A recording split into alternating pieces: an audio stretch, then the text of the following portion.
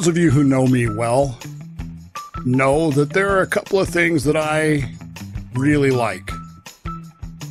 One is a discussion about metaphysics, which includes philosophy, religion, science, how they all fit together, and how they affect our thinking processes.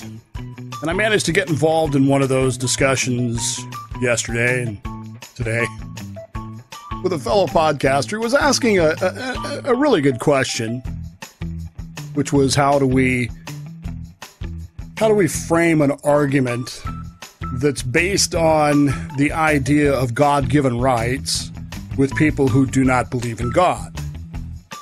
And it kind of degenerated, I guess, into more of a broader metaphysical argument from my point.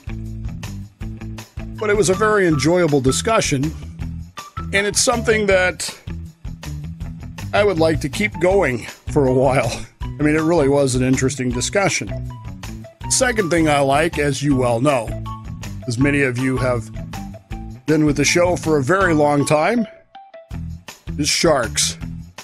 Are sharks? I love sharks. Sharks are 450 million years old. Did you know that? If you were to think about that, I mean, the last Tyrannosaurus died 66 million years ago. Most of the dinosaurs lived in that 150 to 66 million years ago. Sharks have been around four times longer than that. Sharks have survived all five mass extinction events in the history of our planet. They are remarkable creatures who, in my view, and this is simply my view, are just utterly magnificent. Many of you that have been with the show for a very long time, dating all the way back to 2008, know that I have had a long fascination with sharks, particularly the fascination with the element of sharks that can bite your head off.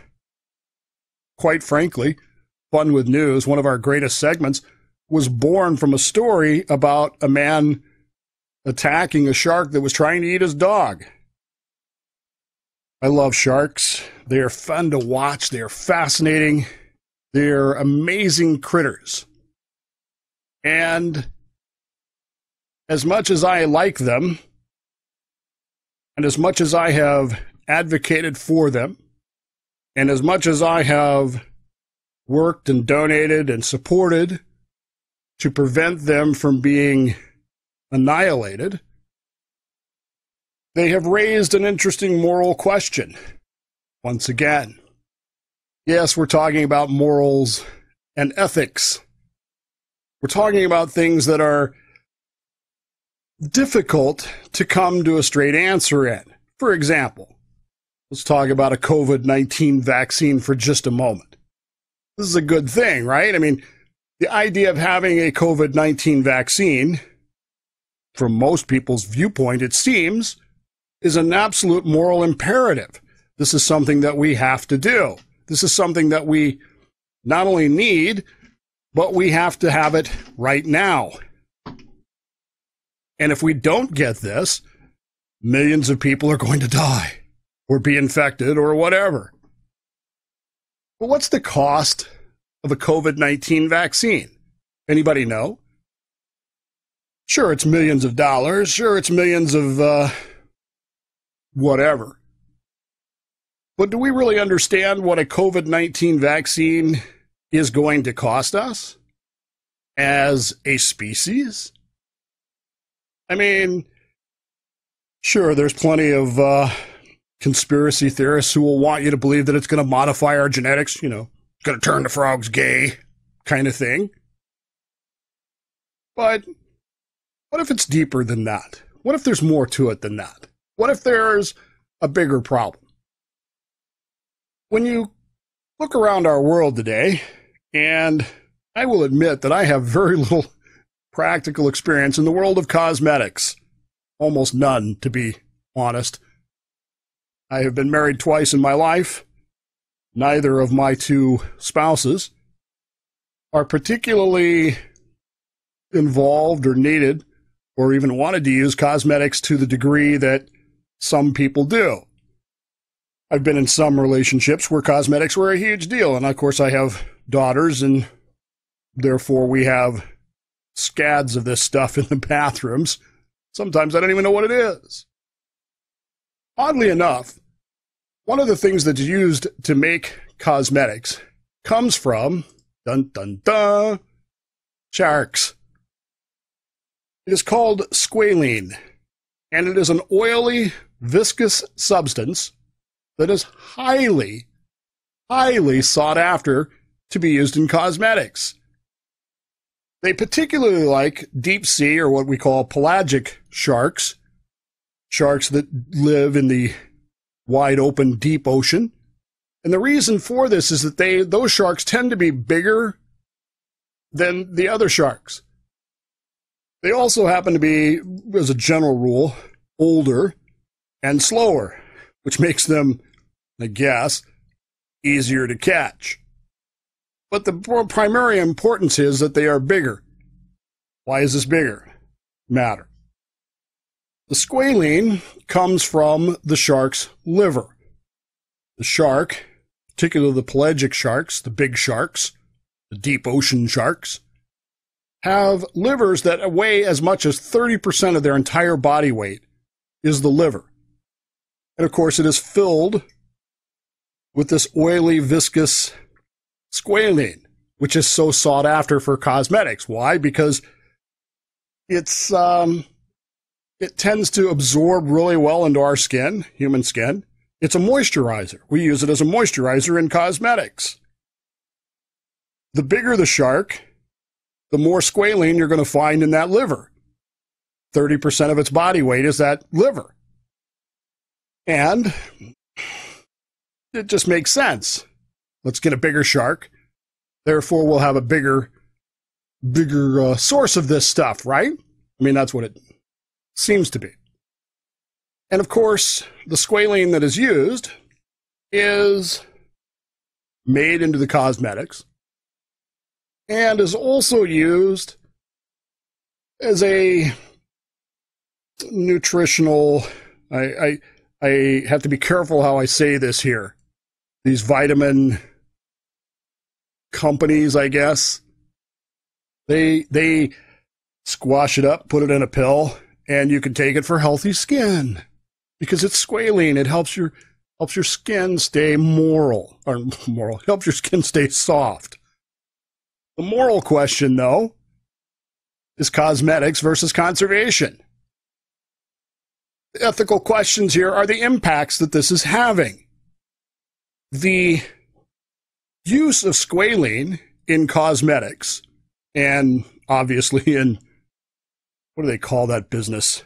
The the the vitamin health food business is immense.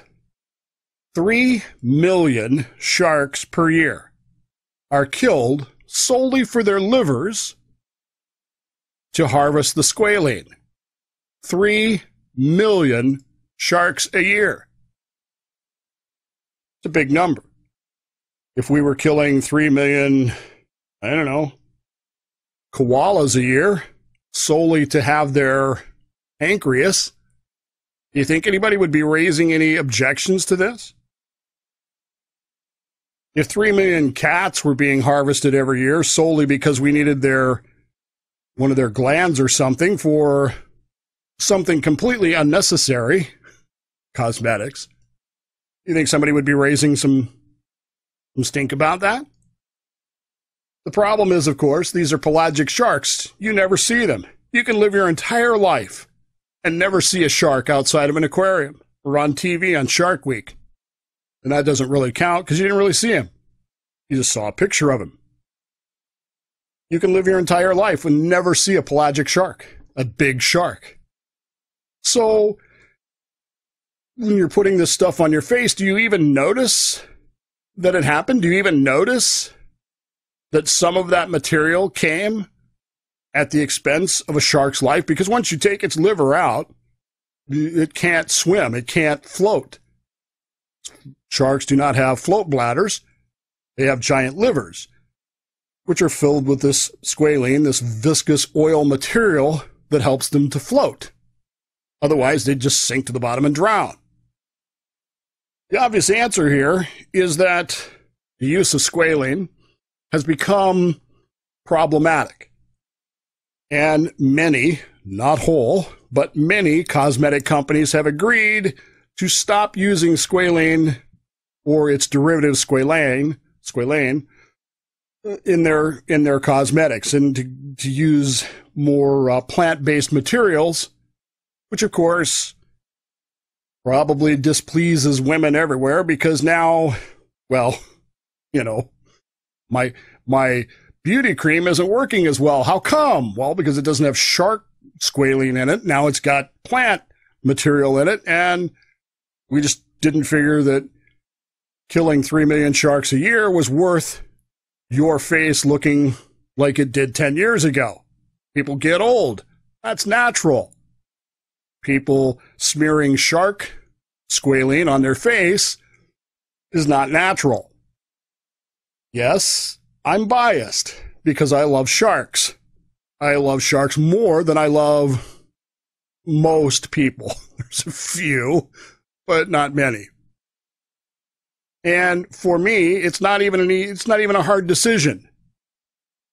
I say to my wife, let's not use this stuff anymore because they're killing sharks to make it.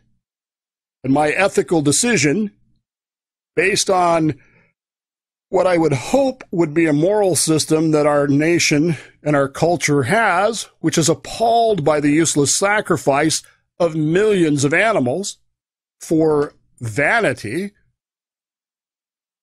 it may not change anything. They may not kill any less sharks this year than they did last year for this. But at least we are not participating in that. Which brings us to, of course, the real conundrum in all this. It's easy when you look at this from a mm, cosmetic standpoint. No one is going to die because they don't get their cosmetics. Killing all these sharks, however, damages the ocean. Healthy ocean needs plenty of sharks as the top predators. They keep fish populations strong, keep disease from spreading by removing sick, died, or dying. They're apex predators on land as well as on the sea. Make sure that the strongest of species they prey on survive and thrive. Evolution 101. But here we get to the moral versus ethical problem. Morality, by the way, is defined as a community deciding and agreeing on what the standard is. Moral, morals are, are community based. What, what will we allow? What will we tolerate? What will we accept as a community? Ethics then become how an individual interacts with those standards. Maybe the moral standards are here, and I decide ethically that I'm going to act here. Perhaps there are laws which make it illegal for me to not meet up to the standards. Maybe there are rewards for exceeding them. But in any case, if you want to have an argument about those things, you have to understand what you're arguing about. What's the end goal of things? What is the goal of these moral standards? Why do my ethics need to revolve around those? What, what is my goal? What if my goal is different than your moral standards? Then you're going to say my ethics are bad. See what I'm driving at here? The problem that we have is COVID 19. Dave, what the heck are you talking about? I can hear you say, can already hear your keyboards clicking. What are you saying, Dave? COVID 19 is divisive at best I don't pretend to be a scientist. I'm not. I do know that I can observe what's happening. And as I have said all along, if what we are told about this virus is absolute truth, then we're doing everything wrong. if this virus is indeed the most infectious, most dangerous respiratory virus to ever exist in the history of mankind, then obviously we're handling everything wrong. But now we've reached a point where we believe that we have a vaccine in production, in in training. We believe that we have this vaccine is on the way. We're being promised this by every level of government.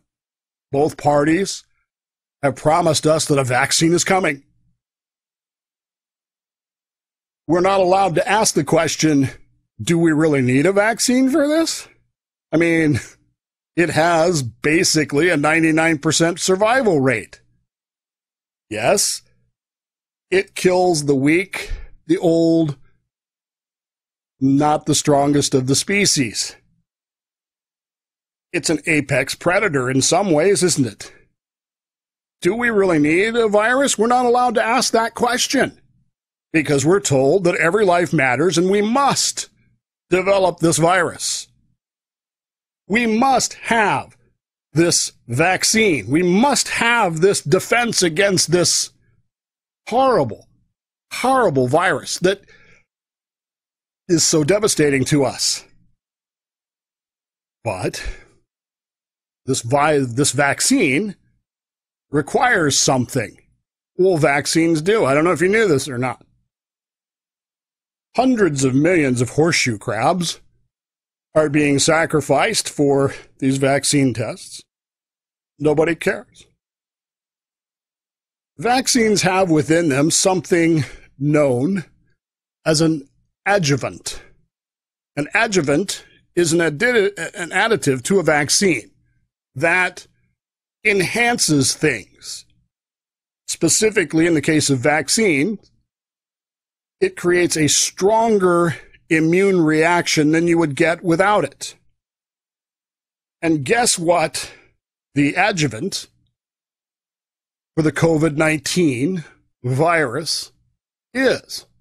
And if you think about this at all, you'll understand why it's, uh, it makes sense. If you understand anything about the virus, how the virus works, and what needs to happen, you will know that oils destroy viruses. Oils tend to make viruses slippery. They can't grab onto things. Their hooks don't work.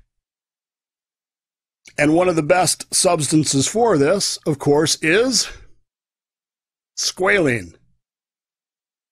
And to produce a COVID 19 vaccine, Smithsonian Magazine informed us today, could require the sacrifice of 500,000 sharks solely for their squalene, solely for a COVID 19 vaccine.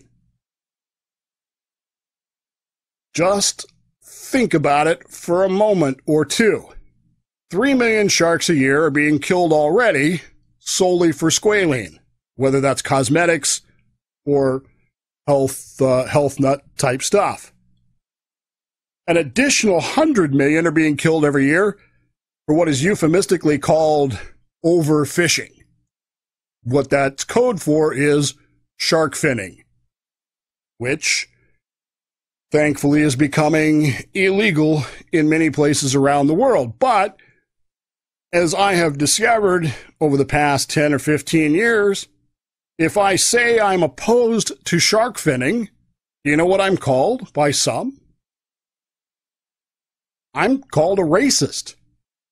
Because in some cultures, the moral standard is we kill sharks because we like their fin to decorate our soup. And so, my moral standards, my community's moral standards, as I've seen around the country, particularly on ocean coastal states, has been that this is appalling. And we have decided that we're going to set ethical standards that match our moral standards, and we're going to ban this practice here in the United States. But even here in the United States, there are some cultures, subcultures, that have said, mm, your moral standards, our ethics don't, don't match. And so we're going to continue to shark fin, which is an appalling, horrible thing. They catch the shark, they cut its fins off, they throw it back. Shark has no fins, can't swim. We're destroying an ecosystem. And when the sharks are gone, what happens to the ecosystem? In the lower populations, the sick, the dead, the dying, what happens to the concept of evolutionary thinking with regards to survival of the survival of the fittest? What happens then? It gets thrown out the window. It gets modified.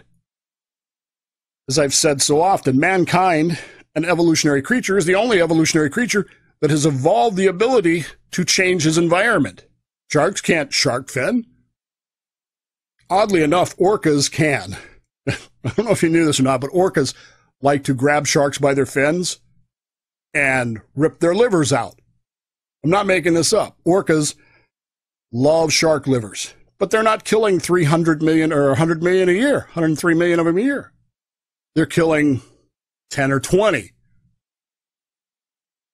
The problem here now becomes one of questions, moral questions, ethical questions.